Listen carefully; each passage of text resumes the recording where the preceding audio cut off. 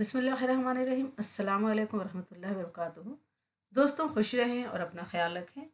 आपका हमारे channel first learning पर खैर मकदम है, इस्तकबाल है। आज हम लोग पढ़ेंगे उर्दू इलेक्टिव का सैंपल पेपर। जो बच्चे गुलिस्तानी अदब ख़याबान उर्दू पढ़ते हैं, उनके लिए ये है। ये दो हज़ार तेईस चौबीस का सैंपल पेपर है। आज मैं इसको पूरा कराऊँगी और सबका जवाब भी बताऊँगी। तो हमारे साथ वीडियो में बने रहें। पूरी वीडियो को अच्छी तरह देखें, इसके बिल्कुल नहीं करें। स्किप करने से क्या होता है कि आपको कुछ बातें समझ में आती हैं, कुछ नहीं आती हैं। तो स्किप किए बगैर आराम से पूरी वीडियो को देखें, अच्छी तरह से देखें। ये वीडियो आपको बहुत ही काम आने वाली है, बहुत ही आपके लिए फ़ायदेमंद है। और आपके आने वाले एग्ज़ाम में इससे आपको बहुत फ़ायदा मिलेगा, क्योंकि आपका जो क्वेश्चन का पैटर्न होता है, इसी पैटर्न से होगा। इसलिए आप इसको एक बार अच्छी तरह ज़रूर देखें।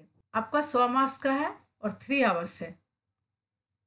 सेक्शन ए में देखते हैं। सवाल नंबर एक है, जैल में से किसी एक इबारत को गौर से पढ़िए और इससे मुतल सवालों के मुख्तसर जवाब तहरीर कीजिए। अलिफ है मुफसिल हाल लिखते हुए डरता हूँ। मुलाजमान किला पर शिद्दत है और बाज पर्स और दाद और दारूगीर में मुबतला हैं। ये इकतबास मिर्ज़ा गालिब के खतूत से लिए गए हैं। इसमें मिर्ज़ा गालिब ने अपने दोस्त मुंशी हर गोपाल तफ्ता के नाम ख़त लिखा है। ये जो आपको इकतबास लिया गया है, ये मिर्ज़ा गालिब के खतूत से लिए गए हैं और इसमें मिर्ज़ा गालिब ने अपने दोस्त मुंशी हरगोपाल तफ्ता के नाम ख़त लिखा है। तो उस वक्त के जो हालात थे, उसी को उन्होंने पेश किया है। अठारह का ज़माना था और गदर का ज़माना था। दिल्ली में क्या है? गदर हो गई थी। और बहुत बुरा हाल था। जितने भी हिंदुस्तानी थे, उनके बहुत बुरे हाल थे। और जो किला के लोग थे जो बहादुर शाह जफ़र थे उस वक्त, आखिरी बादशाह, और उनके जो बच्चे थे, उन पर शिद्दत थी। क्या क्या लिखा हुआ है? मुलाजमान किला पर शिद्दत थी, यानी उन लोगों पर बहुत सख्ती की गई थी, उन लोगों पर बहुत सख्ती था। उन लोगों पर क्या है? बहुत सख्ती था, और बाज पर और दारोगिरी में मुबतला है। यानी कि पकड़ धकड़ हो रहा है, हंगामा है, और सबको पकड़ पकड़ के अंग्रेज़ के जो सिपाही हैं, दारोगा हैं, वो पकड़ पकड़ कर ले जा रहे हैं। मैं गरीब शायर, दस बरस से लिखने और शेर की असलाह देने पर मुतक हुआ हूँ। और कहते हैं कि मैं तो गरीब शायर हूँ, मैं दस बरस से क्या है, शेर लिखने और असलाह करने, यानी उसे सही करने में लगा हुआ हूँ। खाही इसको नौकरी समझो खाही मजदूरी जानो। अब कहते हैं कि इसे या तो नौकरी समझो या मजदूरी जानो। यहाँ जो लिखा हुआ मुफसिल हाल लिखते हुए डरता हूँ, यानी हाल की तफसील लिखते हुए डरता हूँ, क्योंकि हालात बहुत ख़राब हैं। इस फितना व आशूब में किसी मसलहत में मैंने दखल नहीं दिया। कहते हैं कि ये जो गदर का ज़माना है, इतना मार काट हो रहा है तो इस फितना अशुभ में मैंने दखल नहीं दिया, कुछ भी नहीं किया। सिर्फ़ इशार की खिदमत बजा लाता रहा और नज़र अपनी बेगुनाही पर शहर से निकल गया। और सिर्फ़ इशार की खिदमत बजा लाता रहा, यानी अपने इशार लिखता रहा, उसकी असलाह करता रहा और नज़र अपनी बेगुनाही पर, और अपनी नज़र क्या है? बेगुनाही पर रखा कि ऐसा नहीं कि मुझसे कोई गुनाह हो जाए और अंग्रेज़ के सिपाही हमें पकड़ कर ले जाए और शहर से निकल गए, यानी शहर से निकाला गया। मेरा शहर में होना हकाम को मालूम है, मगर चूँकि मेरी तरफ़ बादशाही दफ्तर में से या खबरों के बयान से कोई बात नहीं पाई गई। कहते हैं कि जो अंग्रेज़ को हुकूमत है, जो अंग्रेज़ के हाकिम हैं, उनको मेरा मालूम है कि मैं यहाँ रह रहा हूँ। लेकिन चूँकि बादशाही दफ्तर में, जो बादशाह का दफ्तर है मुखबरों के बयान से, यानी जो मुखबिर होते जो ख़बर पहुँचाने वाले थे उन्होंने मेरे ख़िलाफ़ कोई ख़बर नहीं पहुँचाई है, इसलिए मैं क्या बचा हुआ हूँ, मैं, मुझे नहीं बुलाया गया है। लहजा तलबी नहीं हुई है, यानी मुझे नहीं तलब किया गया मुझे नहीं बुलाया गया गर्ज के अपने मकान में बैठा हूँ, दरवाजे से बाहर नहीं निकल सकता। सवार होना और कहीं जाना तो बड़ी बात है। रहा ये कि कोई मेरे पास आवे शहर में है कौन जो आवे? घर के घर बेचिराग पड़े हैं। कहते हैं कि हालात बहुत ख़राब है। मैं घर में ही बैठा रहता हूँ। दरवाजे से बाहर भी नहीं निकलता हूँ और सवार होना तो दूर की बात है। और कहते हैं कि कौन कौन है जो शहर में यहाँ मेरे पास आएगा? शहर में कोई नहीं है। घर के घर बेचिराग पड़े हैं। यानी लोग घर छोड़ छोड़ कर चले गए हैं और घर ऐसे ही खाली पड़े हैं। यहाँ कोई चिराग जलाने वाला तक नहीं है। अब इसके सवाल जवाब देख लेते हैं। सवाल एक है, ये इकतबास किस सबक से लिया गया है और इसके मुसनफ़ कौन है? तो ये इकतबास मिर्ज़ा गालिब के खतूत से लिए गए हैं और इसके मुसनफ़ मिर्ज़ा गालिब हैं। सवाल तो है, इस इकतबास का मुखातिब कौन है? यानी मिर्ज़ा गालिब ने किसको ख़त लिखा? तो मैंने आपको भी बताया कि मिर्ज़ा गालिब ने अपने दोस्त मुंशी हरगोपाल तफ्ता के नाम यह ख़त लिखा था। इनके दोस्त का नाम क्या है? मिर्ज़ा गालिब ने अपने दोस्त मुंशी हरगोपाल तफ्ता के नाम ये ख़त लिखा है। मुफसिल हाल लिखते हुए डरता हूँ। इससे मुसनफ़ की क्या मुराद है? मुसनफ़ कहते हैं मुफसिल हाल यानी हाल की तफसील लिखते हुए डरता हूँ क्योंकि यहाँ जो गदर हुआ है, हालात बहुत ख़राब हैं और हाकिम जो है वो क्या है, लोगों को पकड़ पकड़ कर ले जा रहे हैं। पकड़ धकड़ हो रही है, हंगामा बरपा है, इसलिए हाल बहुत ख़राब है। इसलिए तफसील से कुछ भी लिखने से डरता हूँ। इस फितना व आशूब में किसी मसलहत में मैंने दखल नहीं दिया। इस जुमले से क्या मफहम वाजा होता है? इस फितना व आशूब में यानी जो हालात इतने ख़राब हैं मार काट का ज़माना है पकड़ धकड़ हो रही है तो इसमें मैंने दखल नहीं दिया, मैं बाहर नहीं निकला, मैंने किसी से बात नहीं की, किसी चीज़ में दखल अंदाजी नहीं किया, इसका यही मफहम है कि मैं बाहर नहीं निकला और किसी काम में भी मैंने दखल अंदाजी नहीं की। घर के घर बेचिराग पड़े हैं, इसका क्या मतलब है? मैंने बताया कि लोग क्या है, दिल्ली में जब गदर हुआ तो सारे लोग अपना घर छोड़ छोड़ कर चले गए और घर ऐसे खाली वीरान पड़े हैं, कोई चिराग जलाने वाला वहाँ नहीं है। इसका क्या मतलब हुआ? कि वहाँ कोई भी चिराग जलाने वाला नहीं है और सब लोग घर छोड़ छोड़ कर चले गए हैं। ये आपका दूसरा इकतबास है। ये इकतबास आपको लिया गया है बजूका से। ये इकतबास आपको लिया गया है बजूका से और इसके लिखने वाले सुरेंद्र प्रकाश हैं। इसको जो राइटर है, ये सुरेंद्र प्रकाश हैं। आपको ये बता दूँ कि ये जो लिखा गया है, सुरेंद्र प्रकाश ने जो बजूका लिखा है, पहले मुंशी प्रेमचंद ने एक नावल लिखी थी, उसका नाम है गौदान। गौदान में एक किरदार था, एक करेक्टर था होरी, जो सबसे मेन करेक्टर था। होरी को इसमें ज़िंदा दिखाया गया। गौदान में गौदान में होरी मर चुका है आखिरी में, लेकिन होरी को इसमें ज़िंदा दिखाया गया और होरी इसमें क्या है, खेती करता है और अपने बच्चों से हिदायत करता है कि तुम खेत में कभी बजूका मत लगाना। अब आपको बता दूँ कि बजूका किसे कहते हैं। बजूका कहते हैं, एक बाँस में डंडा बाँध करके उसमें कुर्ता पहना दिया जाता है, टोपी पहना दिया जाता है और खेत में उसको खड़ा कर दिया जाता है ताकि जानवर ताकि जानवर और चिड़िया वहाँ खेत में घुसकर उसे बर्बाद नहीं करें, खाए नहीं। खेत को बचाने के लिए क्या है? बजूका लगा दिया जाता है। तो आइए पढ़ती हूँ। सुनो, ये शायद हमारी ज़िंदगी की आखिरी फ़सल है। अभी थल खेत से कुछ दूरी पर है। होरी अपने बच्चों को, अपनी आने वाली नस्लों को, अपनी कौम को ये हिदायत कर रहे हैं कि ये हमारी आखिरी फ़सल है। अभी थे, अभी थल खेत से कुछ दूरी पर है। थल कहते हैं रेगिस्तान को। मैं तुम्हें नसीहत करता हूँ, अपनी फ़सल की हिफाजत के लिए फिर कभी बजूका ना बनाना। बजूका मैंने आपको बताया, बाँस में कुर्ता और टोपी पहनाकर खेत में खड़ा कर दिया जाता है खेत की हिफाजत के लिए। अगले बरस जब हल चलेंगे, बीज बोया जाएगा और और बारिश का अमृत खेत में से कोपलों को जन्म देगा तो मुझे एक बाँस पर बांधकर खेत में खड़ा कर देना, बजूका की जगह। होरी क्या कहता है कि जब तुम अगले बरस जब हल चलेंगे, बीज बोया जाएगा और बारिश का अमृत खेर यानी बारिश का पानी जब खेत में पड़ेगा और कोपलों को जन्म देगा, यानी छोटे छोटे पेड़ उगेंगे तो मुझे बाँस में बाँध कर खड़ा कर देना बजूगा की जगह। मैं तब तक तुम्हारी फ़सलों की हिफाजत करूँगा। मुझे वहाँ से हटाना नहीं। और तब तक क्या है? मैं फ़सलों की हिफाजत करूँगा। ये कौन बोल रहा? है होरी बोल रहा है। मुझे वहाँ से हटाना नहीं, वहीं रहने देना, ताकि जब लोग देखें तो उन्हें याद आए कि बजूका नहीं बनाना, कि बजूका बेजान नहीं होता है। बजूका क्या है? होरी क्या कहते हैं? कि बजूका बेजान नहीं होता है। आपसे आप उसे ज़िंदगी मिल जाती है, और इसका वजूद इसे दरांती थमा देता है। दरांती कहते हैं, काटने, जो फ़सल काटने वाला छुरा होता है उसे दरांती कहते हैं। और इसका फ़सल की एक चौथाई पर हक हो जाता है। और होरी क्या कह रहे हैं कि वो क्या है? उसे ज़िंदगी मिल जाती है और उसका वजूद क्या उसे दरांती थमा देता है। उसका फ़सल की एक चौथाई पर हक हो जाता है। वो जो फ़सल की देखभाल करता है तो वजूगा कहता है कि मैंने फ़सल की देखभाल की है तो मेरा भी इसमें क्या है? एक चौथाई का हक है। ये इकतबास किस सबक से लिया गया है और इसके मुसनफ़ कौन है? तो ये इकतबास किससे लिया गया है? वजूका से लिया गया है। और इसके मुसनफ़ कौन है? इसके मुसनफ़ सुरेंद्र प्रकाश है। इकतबास में कौन किससे मुखातिब है? तो मैंने आपको बताया कि इकतबास में होरी है, जो मुंशी प्रेमचंद के नावल गोदान का एक करेक्टर है।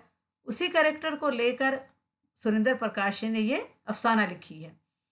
तो इकतबास में क्या है? होरी अपने घर वाले से मुखातिब है, अपनी नस्ल से, अपनी कौम से मुखातिब है। बजूका किसे कहते हैं? बजूका किसे कहते हैं? मैंने आपको बताया एक बाँस का डंडा बनाया जाता है और उसमें हाथ की तरह बना दिया जाता है उसमें कुर्ता और टोपी पहनाकर खड़ा कर दिया जाता है खेत में, खेत की रखवाली करने के लिए उसे। उसे बजूका कहते हैं। बारिश का अमृत खेत में से कोपनों को जन्म देगा, इसका क्या मतलब है? बारिश का अमृत यानी बारिश का पानी जब पड़ेगा खेत में तो कोपनों को जन्म देगा। जब बारिश का पानी खेत में पड़ेगा तो छोटे छोटे पेड़ उगेंगे। जब छोटे बारीक से पेड़ उगते हैं तो उसे कोपल कहते हैं। तो कोपनों को जन्म देगा, इसका यही मतलब है। आपसे आप इसे ज़िंदगी मिल जाती से क्या मुराद है? तो होरी कहता है कि जब तुम बजूका लगाते हो, वो तुम्हारी खेत की रखवाली करता है, देखभाल करता है तो कुछ दिन के बाद क्या होता है उसका वजूद उसे दरानती थमा देता है, वो जान में, उसमें जान आ जाती है। और वो कहता है कि इस फ़सल में क्या है, एक चौथाई हक मेरा भी है। तो होरी अपने नस्ल को, अपनी कौम को और अपने घर वालों को ये नसीहत करता है कि तुम मुझे बाँध कर खड़ा कर देना खेत में, मैं तुम्हारी खेत की रखवाली करूँगी। क्योंकि वजूका में क्या है, आपसे आप ज़िंदगी मिल जाती है। उसे लड़ने के लिए क्या है, आपसे आप ताकत मिल जाती है। सवाल दो, देखते हैं, दर्ज झैल सवाल के सही जवाब लिखिए। पाँच सवाल एक एक नंबर के। मिर्ज़ा गालिब कहाँ पैदा हुए? मिर्ज़ा गालिब आगरा में पैदा हुए। अफसाना बजूका प्रेमचंद के किस नावल से मुतासर होकर लिखा गया? मैंने आपको बताया, अफसाना बजूका प्रेमचंद के नावल गौदान से मुतासर होकर लिखाया गया। लिखा गया है। गोदान देखिए यहाँ लिखा हुआ है, फौजी के किरदार से मुतालिक सही जवाब कौन सा है? फौजी दिलचस्पी पैदा करने वाला मस्करा है। लखनऊ के जवाल पजीर माशरत की अलामत है। फौजी एक बहादुर इंसान है। फौजी एक कीना परवर इंसान है। तो इसमें क्या दिखाया गया कि फौजी के किरदार से मुतालिक सही जवाब होगा? लखनऊ के जवाल पजीर माशरत की अलामत है। फौजी को जो इसमें दिखाया गया है, वो क्या है? लखनऊ के जवाल पजीर माशरत की अलामत है, यानी लखनऊ के जब हालत ख़राब हो रहे थे, वहाँ जो ख़ात्मा हो रहा था हर चीज़ का, उसके, वहाँ के माशरत का, उसी के ये अलामत है, खौज, खौजी। अफसाना लम्हे में बलवंत सिंह क्या पैगाम देना चाहता है? क्या पैगाम देना चाहता है? जुल्म से नफ़रत, नेकी और बदी के फ़र्क का एहसास। एक दूसरे के दुखों में शिरकत ही हकीकी इंसानियत है। एक दूसरे के हालात के तई हमदर्दी का इजहार। अफसाना लम्हे पढ़ा होगा आपने जिसे बलवंत सिंह ने लिखा है। उसमें बलवंत सिंह ने यह पैगाम दिया है कि एक दूसरे के दुखों में शिरकत ही हकीकी इंसानियत है। क्या उन्होंने पैगाम दिया है? एक दूसरे के दुखों में शिरकत ही हकीकी इंसानियत है। सवाल पाँच है, सज्जाद जहीर की नसरी नज़मों के मजमू का नाम क्या है? आपने अगर सज्जाद जहीर के बारे में पढ़ा होगा तो उसमें आपने पढ़ा होगा कि उनके जो मजमू का नाम है, पिघला नीलम। उनके मजमू का क्या नाम है? पिघला नीलम। दजैल में से किसी एक पर 200 लफ्ज़ों पर मुश्तमिल नोट लिखिए। गालिब की मकतूब निगारी, ये आपका दस नंबर का है। और 200 लफ्ज़ों पर लिखना है। गालिब की मकतूब निगारी, अफसाना की तारीफ़ बयान करते हुए अफसाना बजूका पर रोशनी डालिए। खाका कलीमुद्दीन अहमद, और खाका कलीमुद्दीन अहमद का लिखिए। ये दस नंबर के हैं, आपको 200 लफ्ज़ों पर लिखने हैं। आप हमारे चैनल पर जाकर देख सकते हैं, गालिब की मकतूब निगारी में मैंने पढ़ाया है। अफसाना की तारीफ़ भी पढ़ाया है और खाका कलीमुद्दीन अहमद भी पढ़ाया है। हमारे चैनल का फ़र्स्ट लर्निंग नाम है। और फ़र्स्ट लर्निंग के होम पेज में जाएँगे तो वहाँ प्ले लिस्ट खोलेंगे क्लास ट्वेल्थ का तो आपको ये सब कुछ मिल जाएगा। सवाल चार है, दर्ज झैल में से किसी एक हिस्से की तशरी शेर खूबियों की निशानदही के साथ कीजिए और शायर का नाम भी बताइए। किसी एक शेर की तशरी करेंगे और उसकी शेरी खूबियाँ भी बताएँगे और शायर का नाम भी बताएँगे। पहला शेर है, अब शौक से बिगाड़ की बातें किया करो, कुछ पा गए हैं आपके तर्ज बयां से हम। ये किसकी लिखी हुई है? अल्ताफ़ हुसैन हाली की लिखी हुई है। ये शेर जो लिया गया है, अल्ताफ़ हुसैन हाली के गज़ल से लिया गया है। कहते हैं कि, अब शौक से बिगाड़ की बातें किया करो, यानी दिल से, खुशी से बिगाड़ की बातें किया करो, क्योंकि मैं क्या है, आपकी तर्ज बयां से सब कुछ समझ गया हूँ। आपके जो बोलने का अंदाज़ है, आपका जो बोलने का तरीक़ा है, आपको मुझसे उनसीयत है आप ऊपरी दिल से बिगाड़ की बातें करते हैं। अब शेर न, अब इस शेर में हम शेरी खूबियाँ देखते हैं। इसमें क्या है? मुकालमे के अंदाज में गुफ्तगु किया गया है। इसमें बिल्कुल बातचीत के अंदाज में शेर लिखा गया है। और तर्ज का लफ्ज़ यहाँ क्या है? मुन्नस इस्तेमाल हुआ है। तर्ज का लफ्ज़ है आप, आपकी तर्ज बयां। यानी यहाँ पर मुन्नस इस्तेमाल किया गया है, जबकि आम तौर से तर्ज को क्या है? मुजक्कर बोलते हैं। अब दूसरा शेर देख लेते हैं। एक लगी के दो हैं असर और दोनों हसब मुरातिब हैं। लो जो लगाए शमा खड़ी है रक्स में है परवाना भी। इस शेर में दोनों तरफ़ से क्या है? आग बराबर लगी हुई के ख्याल को पेश किया गया है। इस शेर में क्या कहा गया है? कि दोनों तरफ़ क्या है? आग बराबर लगी है, इस ख्याल को पेश किया गया है।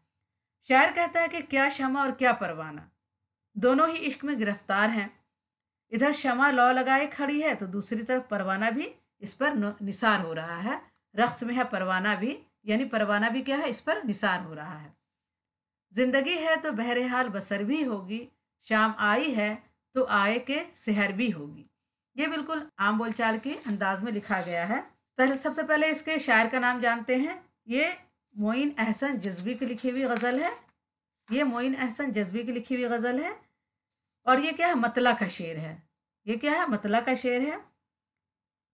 शायर कहते हैं कि ज़िंदगी जब अल्लाह ताला ने दी है तो बसर हो ही जाएगी और शाम आई है तो सहर होगी। यानी जब इंसान की ज़िंदगी में खुशी आती है तो गम भी आता है, गम आता है तो खुशी भी आती है। तो ज़िंदगी जब दी है अल्लाह ताला ने तो वो किसी न किसी तरह बसर हो ही जाएगी।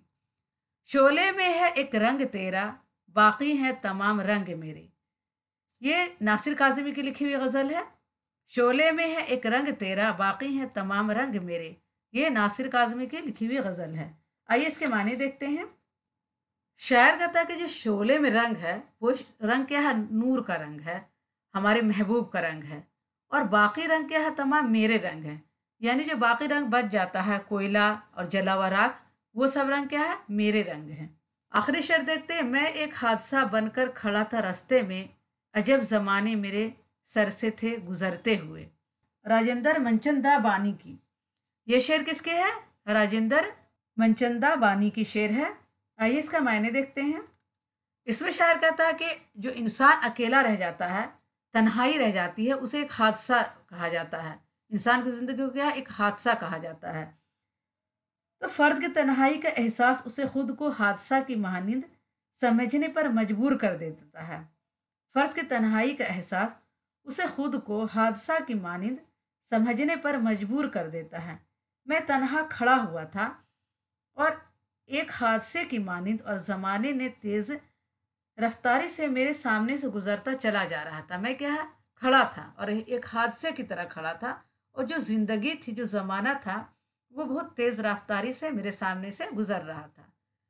अब देखते हैं ये बे, हैं तेरे तसरफ में ये बादल, ये घटाएँ, ये गुंबद इफलाक, ये खामोश फ़िज़ाएँ, ये कोह, ये सहरा, ये समुंदर, ये हवाएँ थी पेश नज़र कल तो फरिश्तों की अदाएँ आयना अयाम में आज अपनी अदा देख। ये नज़म है, जो इकबाल की लिखी हुई नज़म है और जिसे लिया गया है, रूह आर्जी आदम का इस्तबाल करती है। आपकी किताब में गुलिस्तान अदब में ये नज़म है, रूह आर्जी आदम का इस्तबाल करती है। है तेरे तसरुफ में ये बादल ये घटा है, यानी ये तेरे लिए ही जो बादल और घटा बनाई गई है, ये तेरे लिए ही है। इकबाल कहते हैं इस नज़म में इंसान क्या है? अशरफुल मखलूक़ात है और अल्लाह ताला ने इंसान के लिए ही दुनिया में सब कुछ बनाया है। ये कायनात में जितनी सारी चीज़ हैं, वो इंसान के लिए ही बनाई गई है। है, तेरे तसरुफ में बाद, ये बादल, ये घटाएँ, यानी तेरे ही इख्तियार में ये बादल, ये घटाएँ हैं। ये गुंबद इफलाक, ये खामोश फ़ज़ाएँ और ये जो गुंबद है, ये जो आसमान है, ये गुंबद है, ये सब तेरे लिए ही बनाई गई है। ये कोह, ये सहरा, ये समुंदर, ये हवाएँ ये जो पहाड़ हैं, ये रेगिस्तान है, ये समुंदर है, ये हवाएँ हैं थी पेश नज़र कल तो फरिश्तों की अदाएँ। कल तक तो तू आसमान पर था, क्योंकि आदम सलाम को आसमान पर से ज़मीन पर भेजा गया था तो वही कह रहे हैं कि कल तक तो तू आसमान पर था और फरिश्तों की अदाएँ देखता, देखा करता था। आयनाए अयाम में आज अपनी अदा देख और दुनिया में आ और देख अपनी अदा को, अपने आप को देख कि अल्लाह ताला ने दुनिया में जो तुझे भेजा है और दुनिया में जो कायनात बनाई है सब चीज़, वो तेरे लिए ही बनाई है। और इसकी रोशनी में, इस कायनात की रोशनी में अपने आप को देख। आइए आगे देखते हैं, सवाल नंबर पाँच है, जो पाँच नंबर के हैं, इसमें पाँच क्वेश्चन होंगे एक एक नंबर के। जज्बी का असल नाम क्या है? जज्बी का असल नाम मोइन एहसन जज्बी है। ये शेर किसका है? उठी गुलरंग दरीचों से, सहर झांकेगी, क्यों न खुलते हुए ज़ख्मों को दुआ दी जाए। ये नज़म किसकी है? ये है जानिसार अख्तर की नज़म है। ये गज़ल किसकी है? ये गज़ल जा, जानिसार अख्तर की है। नासिर काजमी कहाँ पैदा हुए थे? नासिर काजमी अम्बाला में पैदा हुए थे। नज़म किस ज़बान का लफ्ज़ है? नज़म अरबी ज़बान का लफ्ज़ है। नज़म गौर गरीबा किस ज़बान से तर्जुमा की गई है? तो नज़म गौर गरीबा अंग्रेज़ी ज़बान से तर्जुमा की गई है। नज़म क्या है? गौर गरीबा अंग्रेज़ी ज़बान से तर्जुमा की गई है। और ये अंग्रेज़ी नज़म का नाम है elegy written in a country churchyard ये अंग्रेज़ी में लिखी हुई नज़म थी। इसको गौर गरीबा के नाम से उर्दू में तर्जुमा किया गया है। जिसे किसने किया है? अली हैदर नज़म तबा तबाई ने किया है। किसे किया है? अली हैदर नज़म तबा तबाई ने किया है। सवाल छः है, दर्ज झैल में से किसी एक पर 200 अल्फाज में इजहार ख्याल कीजिए। हाली की गज़ल गोई, नज़म की तारीफ़ और इकबाल की नज़म गोई सरदार जाफरी की तवील नज़म वक्त का तराना। ये दस नंबर के हैं आपके। सरदार जाफरी की तवील नज़म जो है वक्त का तराना, वो मैंने पढ़ाया है। हाल ही की गज़ल गोई भी पढ़ाई है और नज़म की तारीफ़ और इकबाल की नज़म गोई भी पढ़ाई है। आइए आगे देखते हैं सात दर्ज झैल सवाल के सही जवाब लिखिए। प्रेमचंद का पहला नावल कौन सा है? प्रेमचंद का पहला नावल हम खुरमा और हम सवाब है। सवाल तो है, ड्रामा यहूदी की लड़की किसने लिखा? तो आगा हशर काश्मीरी ने लिखा है कहानी कलर की मौत के मरकजी किरदार का नाम बता क्या है? सवाल नंबर तीन है कहानी कलर की, मौत के मरकजी किरदार का नाम बताइए। इसके मरसक इसके मरकजी किरदार का नाम क्या है? चेरू या कूफ है। और इसके लिखने वाले चेखफ हैं। इसको जो राइटर है चेखफ है। और मरकजी किरदार चेरू या कूफ है। सवाल चार है सवाल चार है वैक्यूम मोहम्मद बशीर की कहानी जन्मदिन किस जबान में लिखी गई थी? तो ये क्या मलयालम में लिखी गई थी। सवाल पाँच है, पितरस बुखारी के इंशाइयों के मजमू का नाम क्या है? तो पितरस के इंशाइयों के मजमू का नाम है पितरस के मजामी तो पितरस के इंशाइयों का नाम क्या है? मजामी पितरस। ये अलिफ वाला सही होगा। दर्ज झैल में से किसी एक पर सौ लफ्ज़ों में इजहार ख्याल कीजिए। प्रेमचंद की नाविल निगारी, आगा हशर की ड्रामा निगारी और अफसाना कलर की मौत। ये पाँच नंबर के हैं जो सौ लफ्ज़ों पर लिखना है। या आप लिखें। आइए सेक्शन बी देखते हैं। दर्ज झैल सवाल के सही जवाब लिखिए। उर्दू ज़बान का अखर उर्दू ज़बान का असल माखज़ कौन सी बोली है? हरियाणवी, ब्रिज भाषा या खड़ी बोली? तो क्या होगा? ब्रिज भाषा होगा। उर्दू सिंधी ज़बान से निकली है, ये नज़रिया किसने पेश किया? तो ये नज़रिया सैयद सुलेमान नदवी ने किया है। देखिए, मोहम्मद हुसैन ने बताया कि ब्रिज भाषा को इसकी माँ करार दिया, यानी ब्रिज भाषा से उर्दू ज़बान निकली है। और हाफिज़ महमूद शेरानी कहते हैं कि ये पंजाब की बेटी है। और सैयद सलेमान नदवी, क्या है सिंध को इसको जाय पैदाश बताते हैं? तो उर्दू क्या है? सिंधी ज़बान से निकली है किसका नज़रिया है? सैयद सुलेमान नदवी का नज़रिया है। नसीरुद्दीन हाशमी दक्किन से इसकी इब्तदा बताते हैं। नसीरुद्दीन हाशमी क्या कहते हैं कि दक्किन से इसकी इब्तदा हुई। ये सब बातें याद रखने की है, इसलिए मैं आपको बता रही हूँ कि ये सब आपको एग्ज़ाम में आ सकता है, क्वेश्चन पूछे जा सकते हैं। सवाल तीन है, फोर्ट विलियम कॉलेज का क़्याम किस सन में आया? किस सन में अमल में आया? तो 1800 में आया। फोर्ट विलियम कॉलेज कहाँ? कलकत्ता में कायम किया गया और 1800 में यह कायम हुआ। बागो बिहार के मुसनफ़ का नाम क्या है? बागो बिहार मुसनफ़ का नाम क्या है? मीर अमन नाम है। दिल्ली का दबिस्तान शायरी के मुसनफ़ कौन है?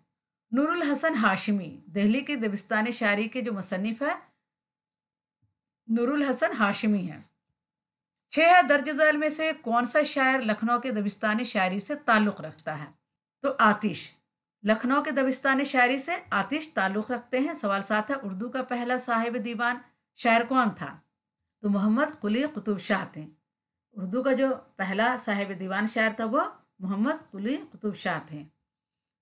सवाल आठ है, दक्किन का कौन सा मशहूर शायर पहली बार दिल्ली आया दक्किन का कौन सा मशहूर शायर पहली बार दिल्ली आया था? कौन आया था? वली आए थे। नंबर नौ है, रानी केतकी की कहानी के मुसन्फ का नाम क्या है? रानी केतकी ने जो कहानी लिखी गई, कौन लिखा है? इनशाला खां इंशा ने लिखा है। सवाल दस है, सवाल दस है, हिंदुस्तान में तरक्की पसंद अदबी तहरीक का बाकायदा आगाज़ किस सन में हुआ?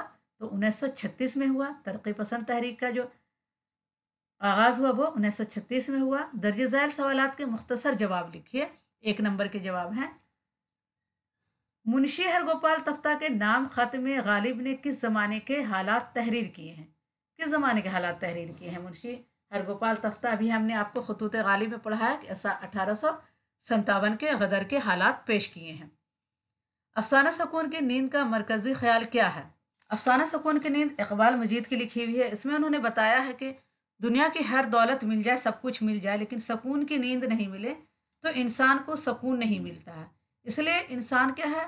खुदा से दुआ करता है कि अल्लाह ताला दौलत नहीं दे कुछ भी नहीं दे लेकिन इंसान को सकून की नींद ज़रूर दे। सबक तीन है सबक रोशनाई में सज्जाद जहीर ने जिस कॉन्फ्रेंस की तफसील बयान की है उस कॉन्फ्रेंस का नाम क्या था? और वो कहाँ मुनद हुई थी? तो इस कॉन्फ्रेंस का नाम क्या था? पंजाबी किसान कॉन्फ्रेंस नाम था। सबक गालिब जदीद शुरा की एक मजलिस में में, में शामिल पाँच जदीद शरा के नाम लिखे। तो पाँच जदीद शरा के नाम हम आपको बता देते हैं। नंबर एक है मीरा जी, दो है नून, मीम, राशिद, तीन है फैज़ अहमद फैज़, चार है राजा मेहदी, अली ख़ान और पाँच है इंद्रजीत वर्मा। ये सब शायर उसमें शामिल थे। पांचवा है नून, मीम, राशिद की नज़म ज़िंदगी से डरते हो का बुनियादी मौजू क्या है? अब आप ये मेरे चैनल पर जाकर देख कर लिख सकते हैं। तो ये आपका कंप्लीट हो गया। इससे इंशाल्लाह आपको बहुत ही फ़ायदा होगा। आप पूरा वीडियो अच्छी तरह आप पूरी वीडियो को अच्छी तरह देखें, समझ कर देखें। इसे पढ़ने से आपका आधा क्वेश्चन सॉल्व हो जाएगा। तो इसे एक बार ज़रूर पढ़ें, पूरा पढ़ें। तो आज के लिए इतना ही काफ़ी है। इंशाल्लाह अगली वीडियो में फिर मुलाकात करूँगी। आपसे गुजारिश है कि आपने अगर हमारे चैनल को अभी तक सब्सक्राइब नहीं किया है तो प्लीज़ सब्सक्राइब करें, लाइक करें और अपने दोस्तों को ये वीडियो ज़्यादा से ज़्यादा शेयर करें। अल्लाह हाफिज़।